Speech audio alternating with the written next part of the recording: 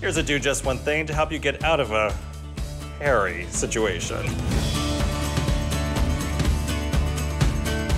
If you love animals, but you don't love all the fur that they shed inside your home, I've got a couple of solutions to help you defur. And I think this is something you're very familiar with. If you've got cats or dogs, they leave behind these little clumps of hair. You could actually take the cover off the pillow, wash it, dry it, put it back on, and repeat every other day. But a simpler solution is just to use these gloves.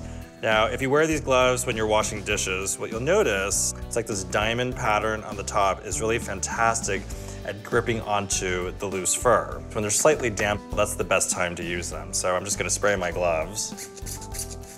And you just run it all over the top, and look at this. Forms it into a little ball, and you can see a lot of the fur trapped into that diamond mesh pattern.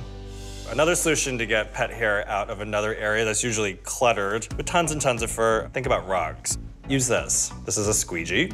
And what this does is that it picks up all of the loose fur and in just a matter of seconds, you've got a clump of fur that you can toss in the compost bin um, or put in the trash.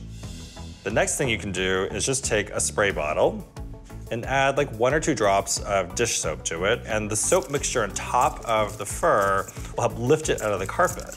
And so when you run over it with a vacuum, your carpets look as good as new.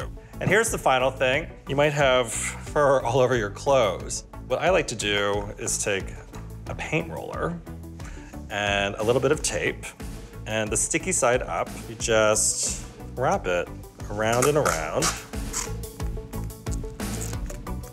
and then you roll away. And look at that. All of that stray fur is picked up and is now trapped on my instant little fur picker-upper. Do just one thing.